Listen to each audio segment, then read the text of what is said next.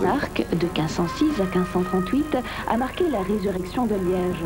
Nous en gardons le témoignage dans le palais princier qu'il a fait édifier, dans la reconstruction aussi de nos plus belles églises.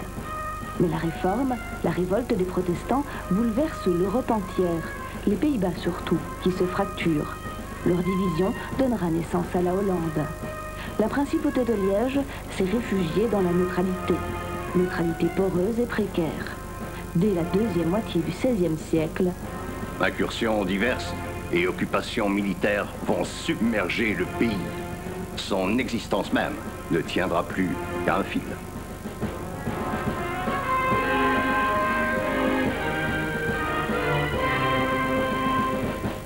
Le règne des de la marque s'est achevé en 1538. Un règne réparateur. Hélas, il ne faudra pas attendre longtemps pour qu'éclate au grand jour l'évidence de notre faiblesse sur l'échiquier européen. Une faiblesse attirante pour les voisins qui nous entourent. Car Liège n'est plus vraiment l'auteur de son histoire. La principauté ne domine plus vraiment son destin. Mais le pays par sa configuration, par la position que sa géographie lui confère, reste un enjeu international de première importance. Par la Meuse, il permet une jonction directe entre la France et la Hollande. Sur l'autre axe, il sépare l'Allemagne des Pays-Bas. Situation intéressante qui n'échappe à aucun de nos voisins et qu'aucun ne va se permettre de négliger. Les premières incursions militaires nous atteignent par le nord. Elles arrivent de la Hollande qui est en train de se former. Guillaume le Taciturne, le père fondateur de la patrie hollandaise, remonte la Meuse pour tenter une jonction avec les protestants de France, les Huguenots, 1568. Arrivé devant Liège, il se heurte à un refus de passage. Nous en donner l'assaut, il va en retraite. Non par crainte des Liégeois, mais par peur du duc d'Albe et de ses troupes espagnoles. Les Espagnols, vraiment? Vraiment. Accourus des Pays-Bas, ils occupent la principauté de Liège. Car les Pays-Bas sont devenus espagnols. Charles Quint les a légués à son fils, Philippe II. À charge pour lui de les réunifier ou d'en sauver ce qu'il peut, et surtout de maintenir la religion catholique. Philippe II va s'y acharner. 1568, au sein de la principauté de Liège, les Hollandais reculent devant les Espagnols tout en conservant les bonnes villes de Tongres et de Saint-Tron. Quel micmac. Je vous avais prévenu que la neutralité liégeoise était poreuse. Les frontières le sont aussi. Dans ces conditions, que le pays lui-même parvienne à survivre vient plutôt du miracle. D'autant que incursion, invasion en sont qu'à leur début. En 1579, les Espagnols s'emparent de Maastricht, que les Hollandais reprendront. En 1595, par l'entremise des Huguenots français, les Hollandais s'emparent de Huy, que les Espagnols reprendront. Quel micmac Pour faire face au péril, la principauté s'endette. Pour honorer la dette, il faut lever de nouveaux impôts qui frappent les biens de consommation. Pour collecter ces impôts, il faut recourir à l'affermage, c'est-à-dire qu'on cède aux plus offrants le droit de les prélever. Tel est le point de départ, note Étienne Hélin, de ce secteur d'avenir est la mise en coupe réglée des contribuables. Déjà oui, une frontière linguistique. Philippe II reconnaît son existence aux Pays-Bas en 1559. Bien mieux, il la consacre. Comment cela? Eh bien, en instituant de nouveaux archevêchés. Cambrai, Malines, Utrecht et de nombreux évêchés annexes dont le ressort territorial suit scrupuleusement la ligne de partage des langues. Et pourquoi le fait-il? Pour combattre les protestants qui gagnent du terrain, pour favoriser, pour rendre plus efficace sa propagande catholique. Il veut que sermon et prêche soient compris du peuple, et par conséquent qu'il soit énoncé dans l'idiome, dans le parler adéquat. La réorganisation totale des diocèses que le roi d'Espagne impose aux Pays-Bas n'a pas d'autre motif. Mais la principauté de Liège est indépendante, me direz-vous. Donc les mesures de Philippe II ne la concernent pas. Si, quand même, car elles réduisent le diocèse de Liège et le domaine spirituel de son évêque. Regardez. Avant 1559, le diocèse de Liège s'étendait loin à l'ouest et au nord dans les Pays-Bas. Il englobait notamment Namur, Louvain, Bois-le-Duc. Après 1559, le diocèse rétrécit à vue. Adieu Namur, adieu Louvain, adieu Bois-le-Duc. La perte atteint sensiblement l'évêque de Liège, notre prince. Diminution de son prestige, diminution aussi de ses revenus. C'est la faute au roi d'Espagne. Mais il n'y aura jamais, au sein de la principauté, de frontières linguistiques reconnues. N'allez pas en conclure qu'elles n'existent pas dans la réalité. Au contraire, quantité d'incidents, de moqueries, de bagarres, dont nous avons le récit depuis le XVe siècle au moins, prouve le contraire. Et d'ailleurs, le phénomène est continu.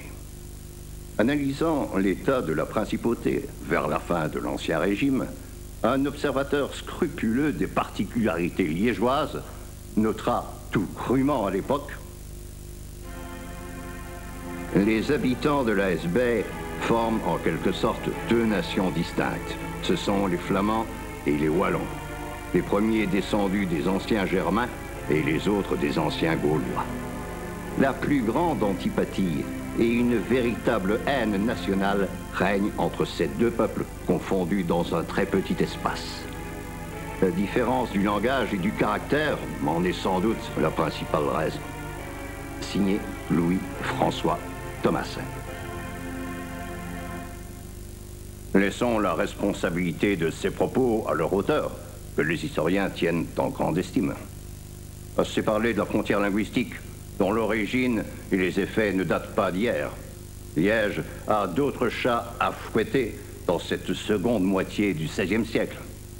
Consciente de sa faiblesse, ouverte à toutes les intrusions, la principauté a besoin d'un protecteur. D'où le choix peut-être d'Ernest de Bavière. Son lignage, illustre en Allemagne, est célébré, honoré dans toutes les cours d'Europe. Personnellement, il a le rang d'altesse lui, sans doute, serait capable d'imposer plus de respect à nos voisins. En donnant le trône épiscopal à Ernest de Bavière en 1581, le chapitre cathédral, involontairement, introduit à Liège une véritable dynastie ecclésiastique, celle des cadets princiers de Bavière, famille des Wittelsbach. Ils régneront jusqu'au XVIIIe siècle avec quelques interruptions. La succession qui ne peut s'opérer de père en fils se transmet d'oncle à neveu.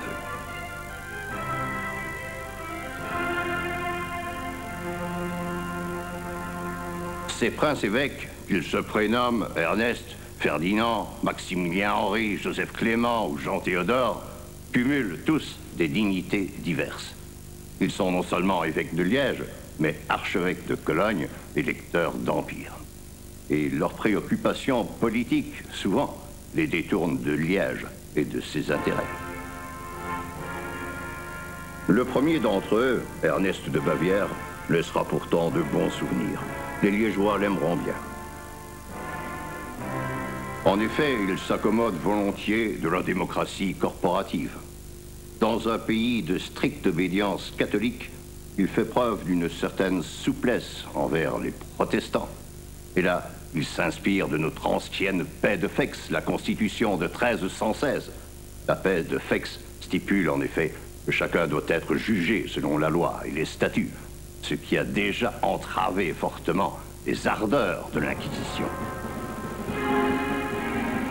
Bien sûr, on continue de brûler ou de bannir quelques sorcières.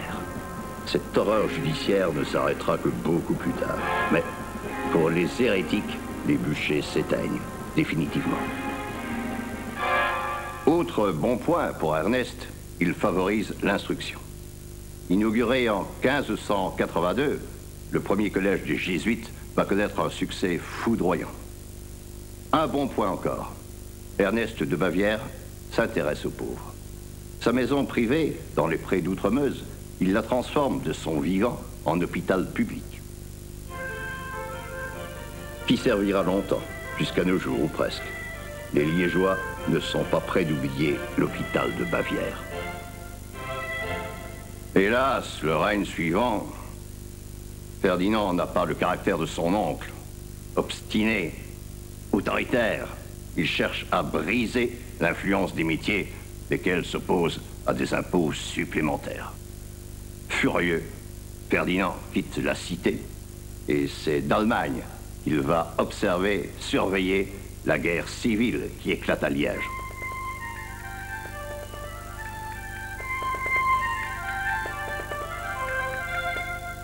Les chirous doivent leur sobriquet à leur accoutrement. Long manteau noir sur culotte et bas blanc qui fait penser un peu à la robe de l'hirondelle. Les grignoux, ce sont des grincheux, des malcontents, des contestataires. Le parti des chirous, assez noble, ecclésial, rassemble surtout des bourgeois fortunés, des grands, pour reprendre une terminologie ancienne. C'est le parti de l'ordre, et par conséquent du prince. Les grignoux, majoritaires dans la population, incarnent surtout les aspirations des petits, petits bourgeois, artisans, boutiquiers, bref, la foule. Et cependant, les chefs, les tribuns, les grignoux, ne sont pas des minables. Sébastien Laruelle, par exemple, a une belle carrière d'avocat derrière lui quand il est nommé bourgmestre en 1630. Tout en voulant maintenir la neutralité liégeoise, il s'appuie sur la France. La diplomatie française, du reste, n'est pas avare de son argent. La lutte entre les Chirous et les Grignoux, ce n'est pas du folklore, je vous l'assure. C'est une guerre civile acharnée et sanglante. En 1633, les combats de rue font rage près du pont des Arches. En 1636, le canon tonne contre la cathédrale où les Chirous se sont réfugiés après une attaque manquée sur la Violette. 16 avril 1637. Sébastien Laruelle se rend à l'hôtel du comte de Warfusé. Il est invité à un banquet. Non, c'est la mort qui l'attend. Un commando espagnol s'en saisit, le transperce à coups d'estocade et de braquet.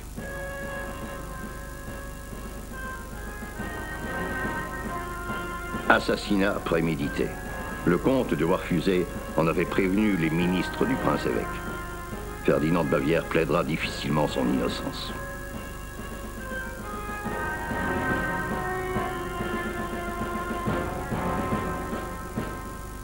Dès qu'il apprend la nouvelle, le peuple se rue dans la maison du crime. Il taille en pièces Warfusé et ses complices.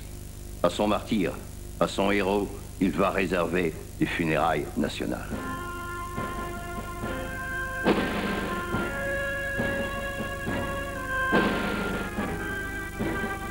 Voici le corps solennellement exposé à la cathédrale sous la grande couronne de lumière. La gravure s'accompagne d'une dédicace qui est un hommage.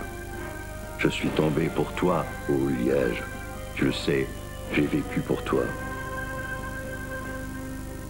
La mort de Sébastien Laruelle ne met pas fin au conflit. En 1651, Ferdinand de Bavière reconquiert la cité par la force. Passons sur la répression L'important, c'est que la démocratie liégeoise est muselée désormais. Désormais, une citadelle s'érige sur les hauteurs, non pour défendre la ville, mais pour la mater. Ferdinand de Bavière va mourir un an plus tard.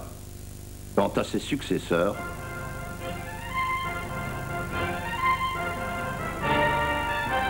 ils seront complètement absorbés par l'ascension de Louis XIV. L'apogée du roi Soleil change la donne. À quoi bon subsidier la populace Liège alors qu'il est devenu fort commode? De s'offrir directement ses princes Ont-ils toujours conscience d'être évêque de Liège, archevêque de Cologne, électeur d'Empire? C'est Maximilien Henri et Joseph Clément de Bavière. On pourrait en douter, car plus français qu'eux, tu meurs.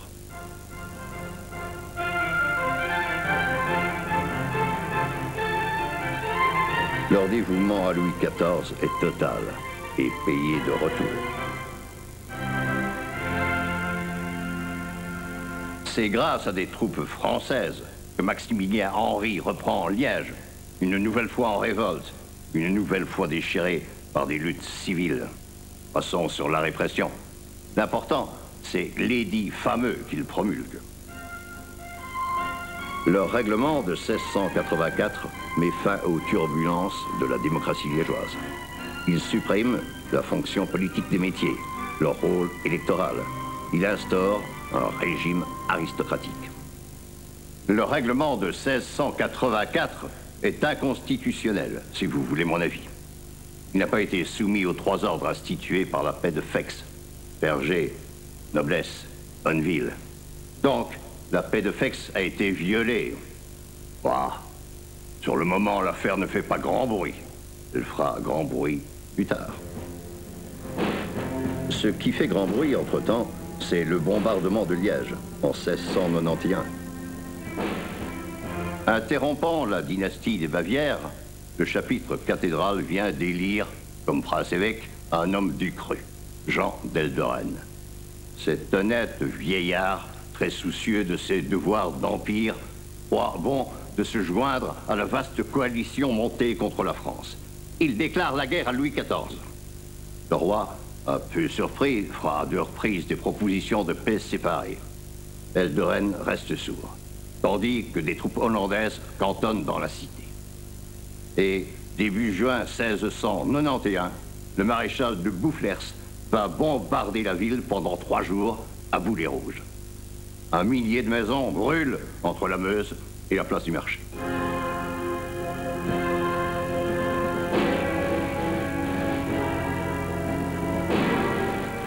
L'ancien hôtel de ville, la Violette, s'écroule dans les flammes. Il sera remplacé par celui qui nous est familier. Autre incendie, accidentel celui-là, il ruine l'ancienne façade du palais qui était familière à Erard de la. Elle sera remplacée vers 1737 par celle que nous connaissons de nos jours.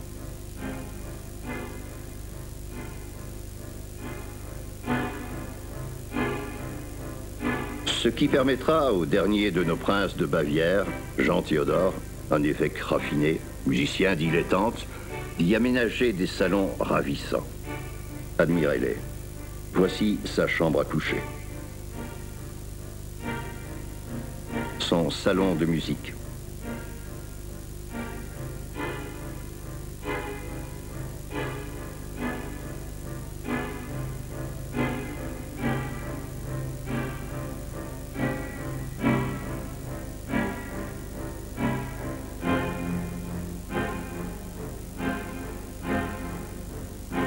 Sa bibliothèque. Voici le salon d'Achille.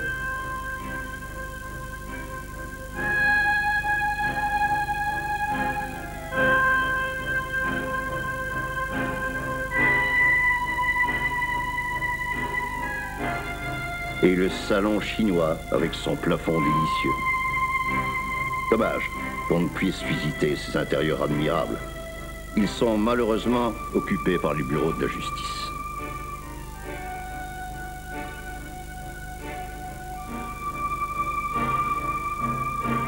Que les appartements soient fermés aux touristes, que le palais soit peu mis en valeur, Liège se prive d'un atout princier. Par contre, le luxe de la bonne bourgeoisie se déploie au musée d'Ensembourg.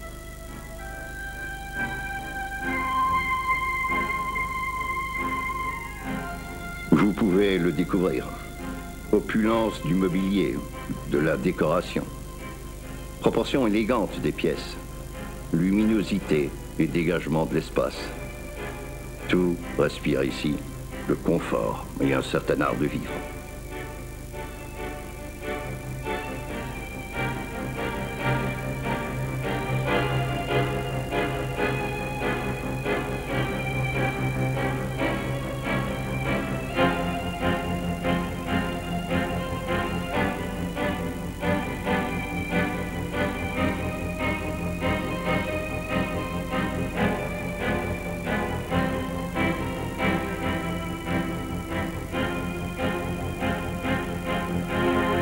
Malheureusement, la population de Liège comporte moins de bourgeois fortunés que de chômeurs et de mendiants.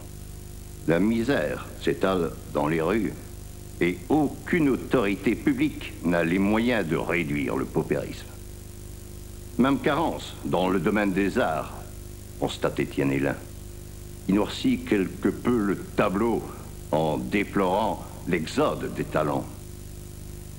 Et c'est vrai que beaucoup de nos artistes partent se former à Rome, où une fondation liégeoise les accueille depuis 1725, avant de s'établir et de se fixer à Paris.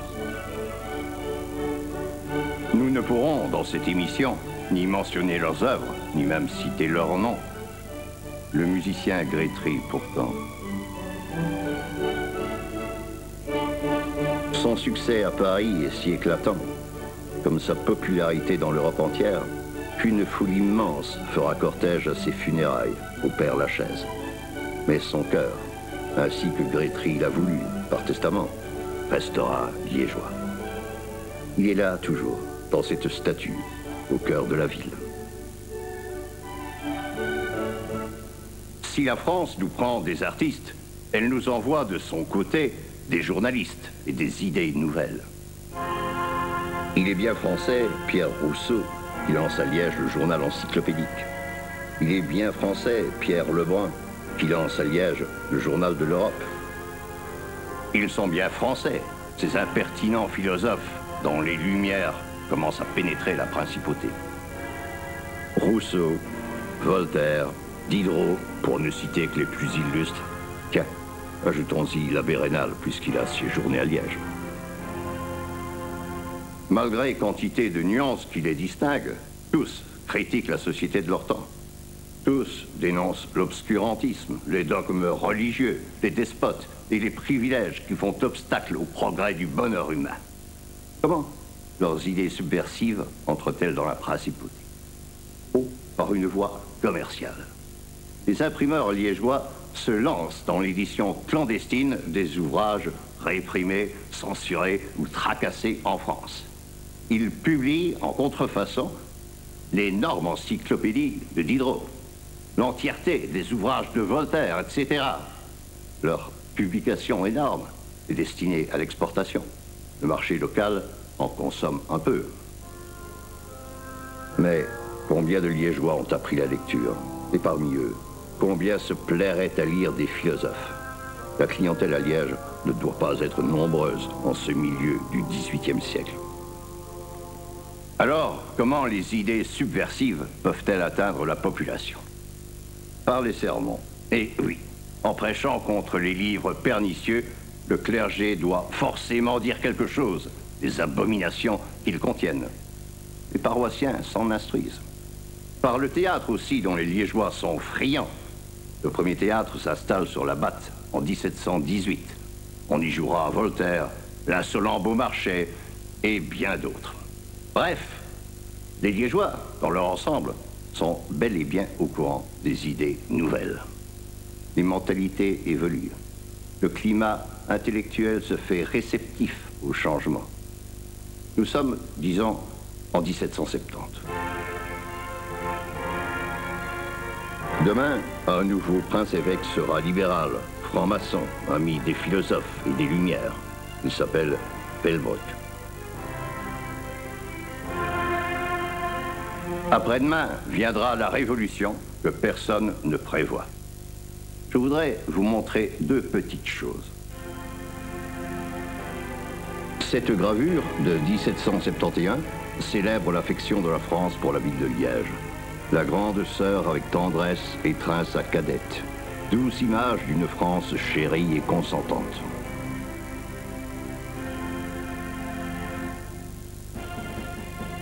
Cette médaille qui réclame le rétablissement de la paix de Fex, c'est-à-dire de l'ancienne démocratie, porte la date de 1787. Cette gravure, cette médaille m'apparaissent comme des signaux qui convergent dans le même sens. Ils indiquent la voie où Liège va s'engager en 1789.